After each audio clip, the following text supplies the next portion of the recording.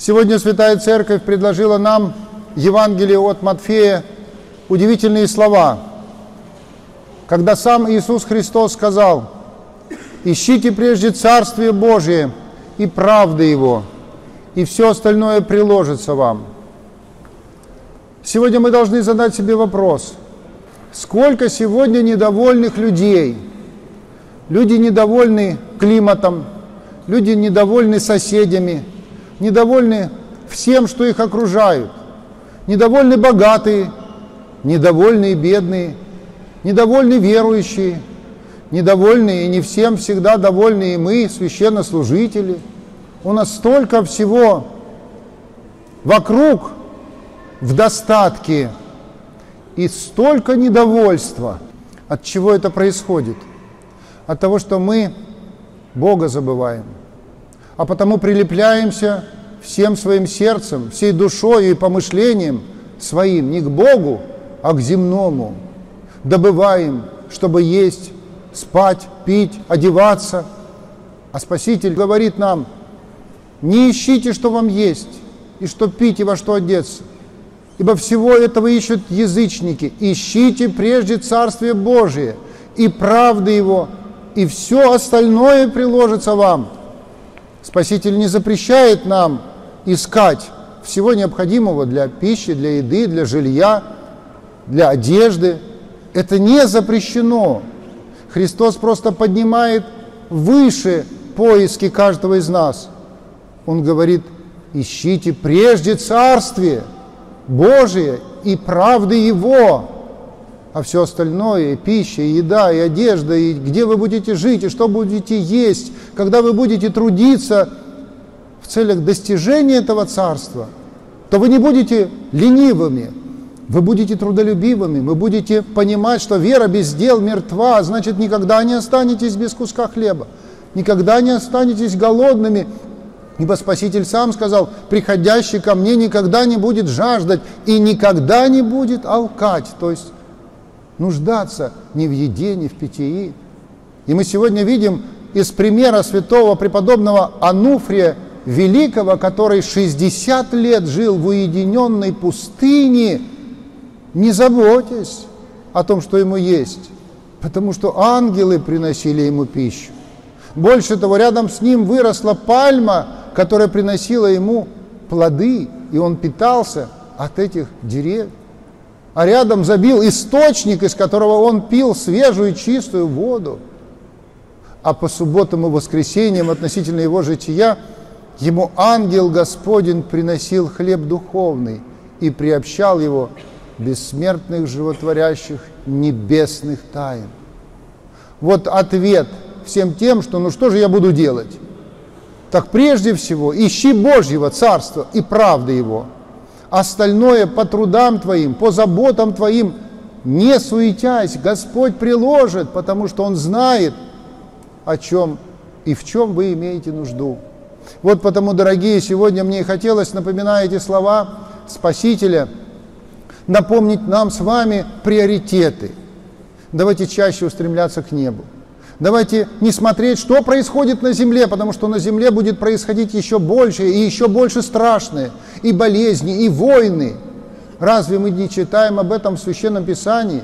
Услышите о войнах и военных слухах, но не ужасайтесь, ибо это еще не конец. Это только начало болезней – а если это только начало, то как же мы все это переживем в страхе, ужасе, в трепете? Мне хотелось бы сказать вам о том, что я прочитал в трудах святителя Василия Великого.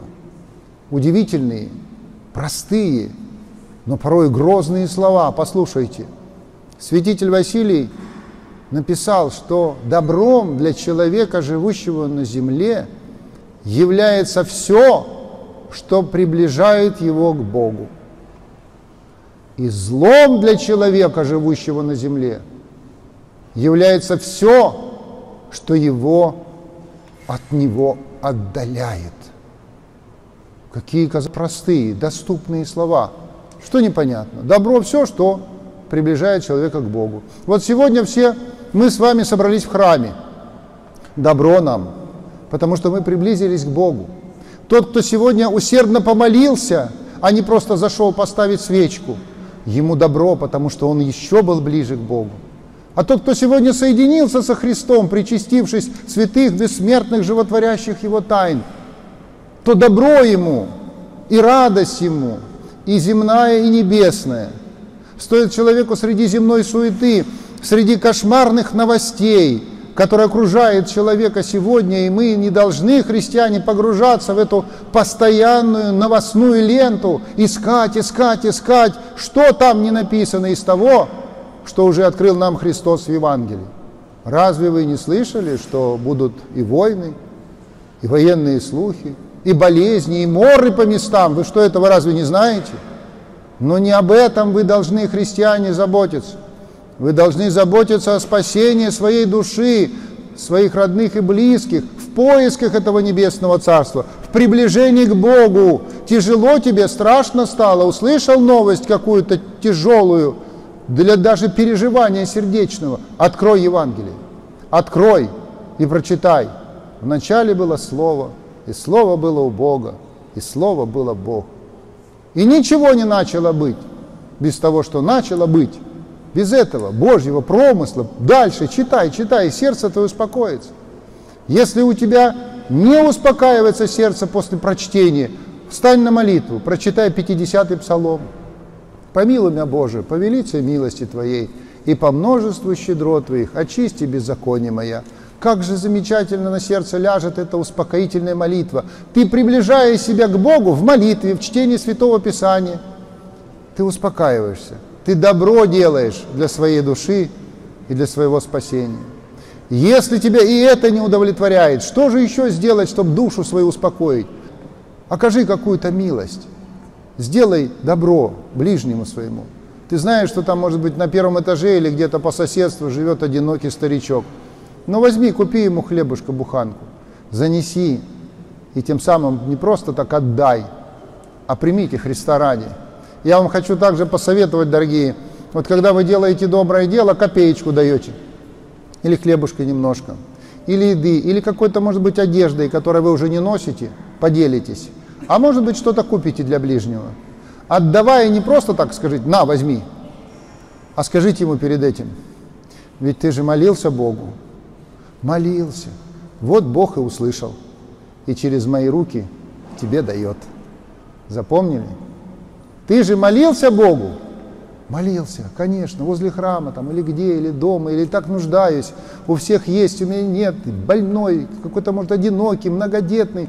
Вы же молились Господу, молились. Вот Бог и послал меня, чтобы через меня дать вам то или иное необходимое. А не спасибо вам, а вы сразу не нам, не нам, Господи. Имени Твоему дашь славу. Ведь Ты же Ему молился, а не мне. Вот Его и прославь. И пусть славится имя Господне. И вам будет это добром. Понимаете, все то, что человек делает Бога ради и к Богу приближаясь, добро для него. И все, что он думает, что для него добро, допустим, сытость. Вот каждый из нас, наверное, пережил на себе сытость, когда вот это состояние объелся.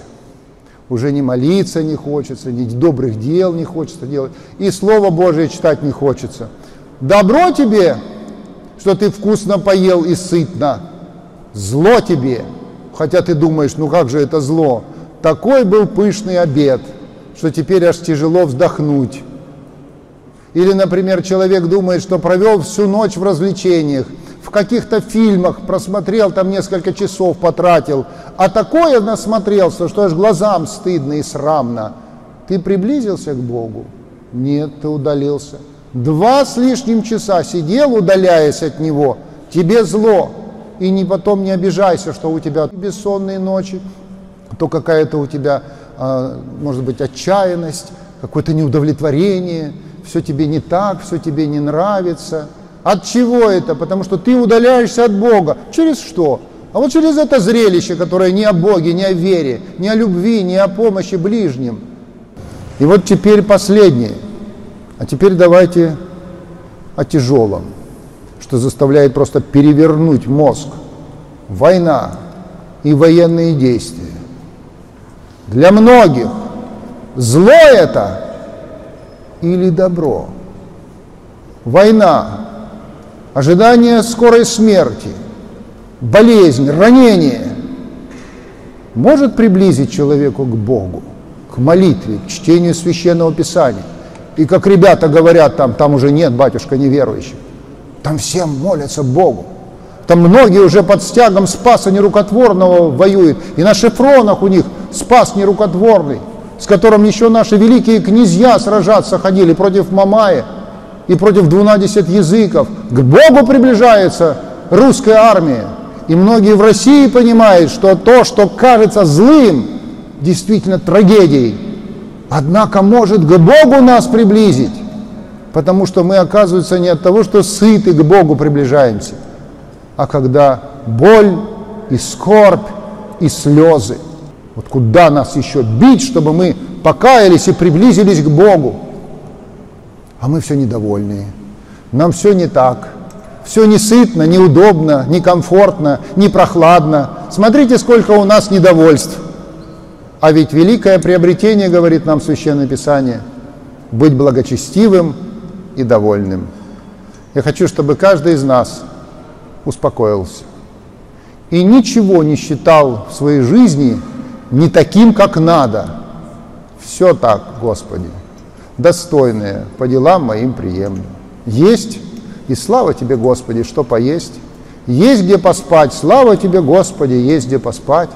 Живы родные и близкие, слава тебе, Господи, что они живы. Вчера я разговаривал с одним инвалидом, а он на коляске сидит. На коляске сидит, ему трудно говорить. А знаете, как они нас называют? Неблагодарных, недовольных. Они даже называют нас ногастые. Вы слышите? Вы на ногах стоите и не цените, вам все не так еще. Вы стоите на ногах, и вам еще что-то не так. А те, кто не видит, кто слеп, как он чувствует тех, кто видит глазами и все время недовольный. Руки работают, ноги, ум. Еще одна прихожанка наша, она попала в аварию на Крымском мосту у нас. Она говорит, как-то собравшись вокруг прихожан, понесла несколько операций. И вот сейчас она встает и говорит, батюшка, я так Господу благодарю, что я могу стоять без палочки. И вот в кругу сестер, прихожанок, она так к ним обращается, говорит, знаете, какая радость? Стоять без палочки и держать равновесие. Это такая радость.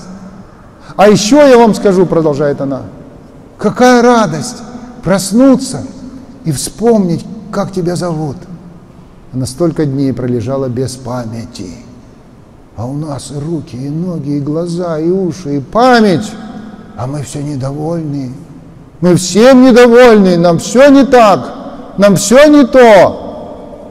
Поэтому великое приобретение – быть благочестивым и довольным. Давайте успокоимся. И будем помнить, что все необходимое для жизни будем трудиться. Все Господь пошлет. Но прежде всего давайте иметь помышление о небесном. Вот тогда и мы с вами исполним слово, которое сегодня сказал Христос. Ищите прежде Царствие Божие и правды Его, и все остальное приложится вам. Аминь.